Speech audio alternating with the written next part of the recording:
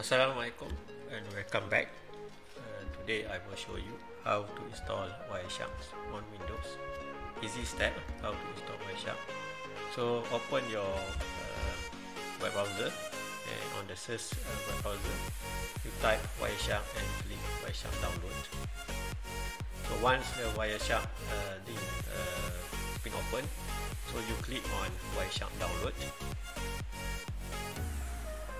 wait for a while for it to display the Wireshark page. Depend on your uh, connection speed.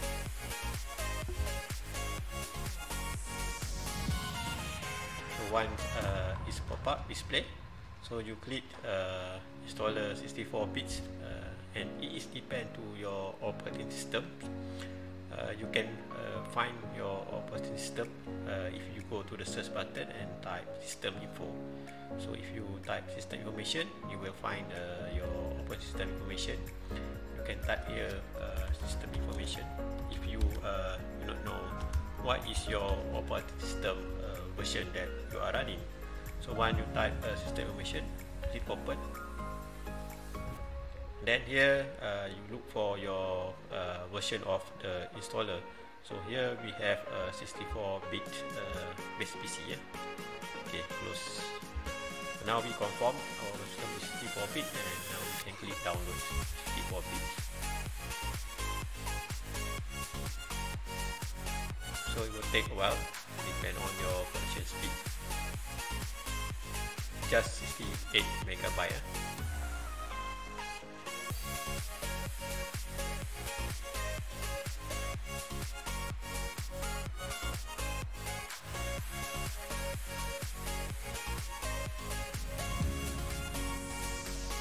One is done. You can open the file.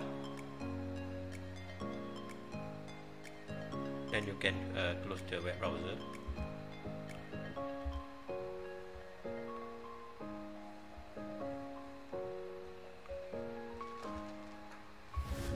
Then here pop up uh, pop up uh, for you to get permission. So you click yes.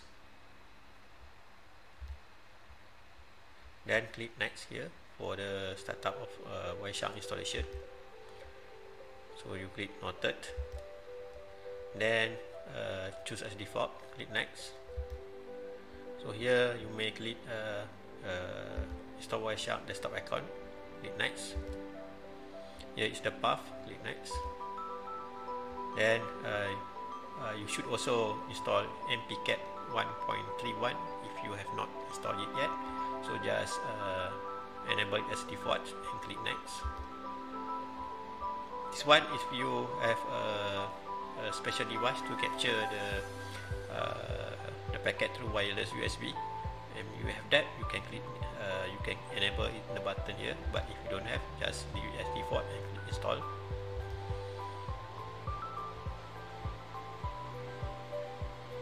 So it will take a while to install the Wireshark so now you start agree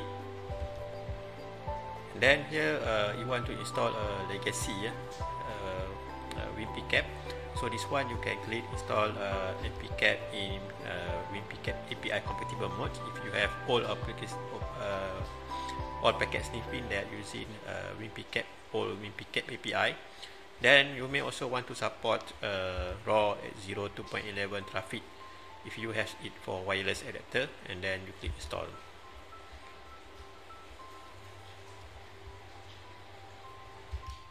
now you click next. Then you have finished it finish. Then it will continue to install Wireshark now you click next. And then you click finish.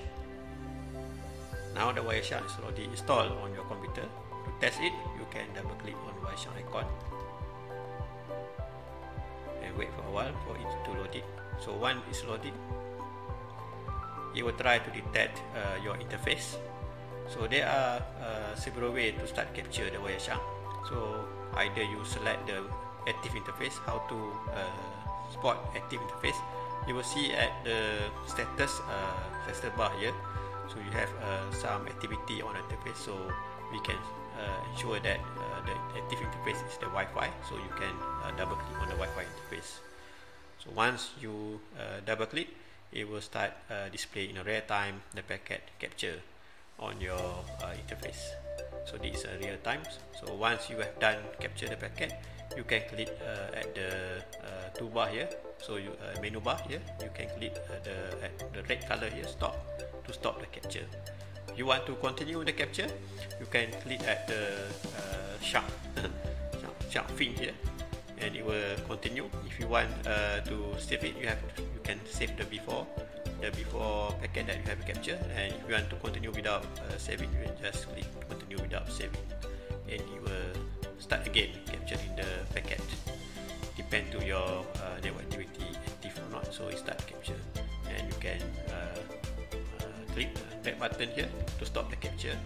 You can also uh, capture by going to the menu bar here. On top of it you see the capture button here. So you can uh, click start here and it will do the same thing continue without saving and you will start capturing the packet okay that's all uh, for today. Thank you for your time. Thank you. If you like the video please like and subscribe